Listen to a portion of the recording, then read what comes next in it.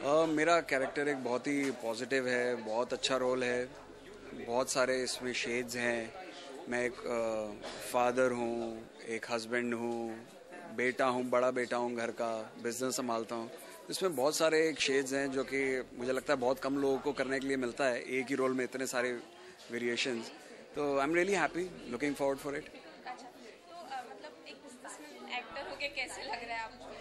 हाँ बिल्कुल ही अलग है। पहले बिजनेसमैन फिर उसके बाद एक रियलिटी शो फिर उसके बाद एक डेली शो तो मेरी लाइफ एकदम ही रोलो कोस्टर हो रही है अभी। But I am really happy life exciting हो रही है। सब कुछ एक्सप्लोर करने को मिल रहा है दुनिया में। आई एम रियली हैप्पी दर्शकों को क्या बोलना चाहेंगे? दर्शकों को यही बोलना चाहूँगा कि हम लोग बहुत मेहनत कर रहे हैं शो के लिए। और जिस तरीके से आप लोगों ने मुझे नच बलिए में प्यार दिया इतना सारा इसमें भी ज़रूर दीजिएगा। हम लोग बहुत मेहनत कर रहे हैं। सो keep loving us.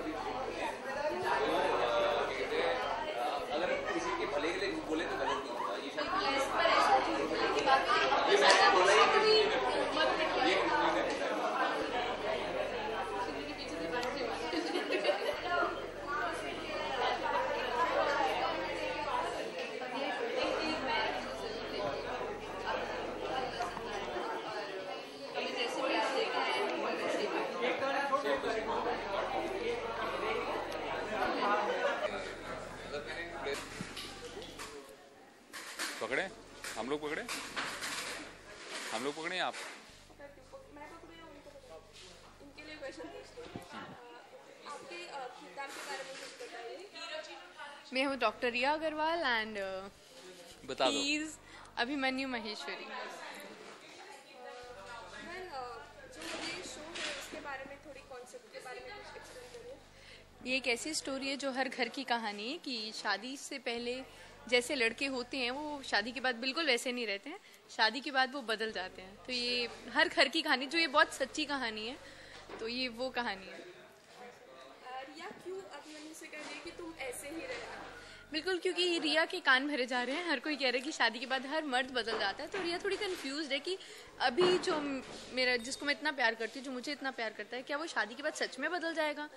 कि जिस चीज़ के लिए हम दोनों शादी कर रहे हैं प्यार के लिए क्या वो सच में प्यार रहेगा नहीं? तो इसलिए वो अभी से पूछ रही है। Kinju how much you agree to that like नहीं नहीं नहीं I totally don't agree with that कि शादी के बाद लड़के बदल जाते हैं। ऐसा कुछ नहीं होता। जस्ट कि शादी हुई है रिस्पॉन्सिबिलिटी थोड़ी सी आ जाती है। ऐसा कुछ नहीं होता। यार आप लोगों की बातों पे क्यों सुनते हो लोगों अगर की बात? लड़के प्रिपेयर ही नहीं है अपनी रिस्पॉन्सिबिलिटीज उठाने के लिए उनको शादी नहीं करनी चाहिए। देखो वो बोल रहे सही है सही बात है। It's a nice show different show हट के होने के बाद भी कॉमन शो है। बहुत स्टोरी से आप लोग रिलेट करेंगे। Please do watch it definitely अपना प्यार हमें हमेशा देते रहिए। और तुम ऐसे ही रहना ज़रूर देखिएगा। रात नौ बजे सोमवार से शुक्रवार सोनी टीवी पर। जी। Thank you